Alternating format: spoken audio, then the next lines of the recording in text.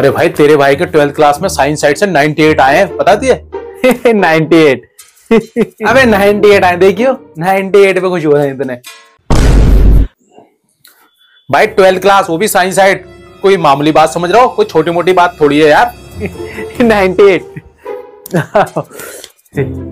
अच्छा भाई 98 आए ना आपके तो जरा इंग्लिश में इसे बताना ये कोई छोटी मोटी बात नहीं है?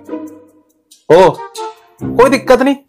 तो ये कोई छोटी मोटी बात नहीं इसकी इंग्लिश होती है it's no mean feat it's no mean feat ठीक है? खुश? हो अब मैंने तो बता दिया अब तू बता जरा दिन रात गधे की तरह मेहनत करने को इंग्लिश में क्या कहते हैं?